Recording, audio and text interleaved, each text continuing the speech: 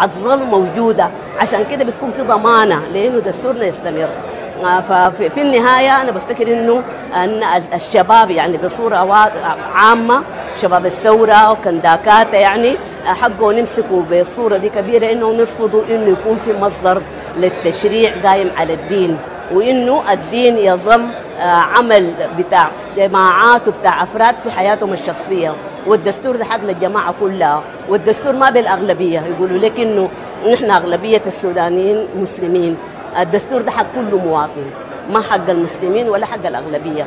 عشان كده ما ممكن تجهض حقوق الأقليات على أساس إنه في أغلبية آه، تصوت ضدها.